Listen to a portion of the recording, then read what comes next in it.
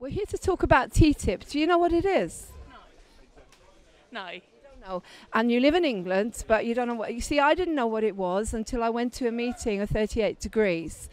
Basically, it's the transatlantic trade investment program.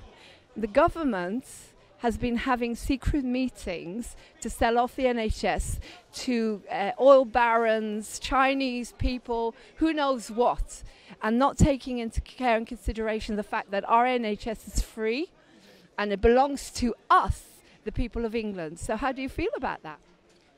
Well, I think it's well, it is ours. We pay into it essentially with our national insurance, so it is ours. And in my opinion, it's not down to the government to sell it. They're not doing it on our behalf. They're just doing it, which without consulting us, which is wrong. Exactly. I mean, don't you think it's awful that it's happening in secret? I mean, years and years ago, I started going to meetings and finding out things that are now being highlighted. Uh, to the to us, you know, everybody on the streets. We need to know.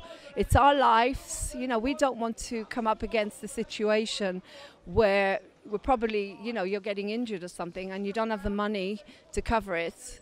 The beauty of the NHS is free. So, what you, sorry, what are you going to do to support um, 38 Degrees?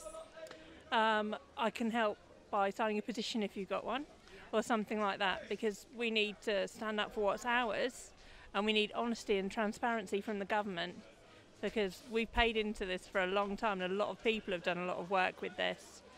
So, yeah, it needs supporting. Thank you so much.